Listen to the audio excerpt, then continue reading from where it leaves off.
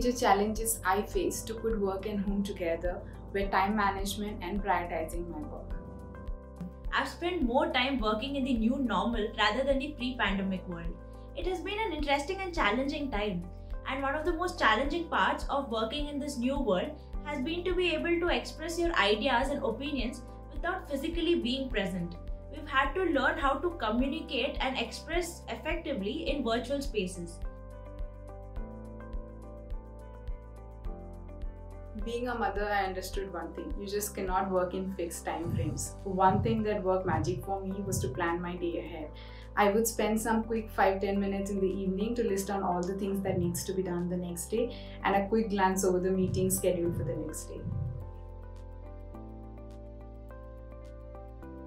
Torry Harris is an amazing place for women to find their footing and grow. Not only is their workspace environment driven by equal participation from every individual, but it is also encouraging of everyone's perspective. There are so many engaging programs for women to voice themselves, and I am very grateful for the opportunities I get here to consistently become a better version of myself and to relate my experience with you all. Working in Torry Harris has been extremely rewarding during these times, and for me personally, it is also best time to uh, learn and improve work at my own pace. All these years in Torry Harris, I have never faced gender inequality. An idea or an opinion put forward by me or any of my colleagues were accepted and encouraged as long as it is relevant and effective. During these pandemic days, the expectation is to deliver quality work on time, whether you do it at 9 am or 9 pm.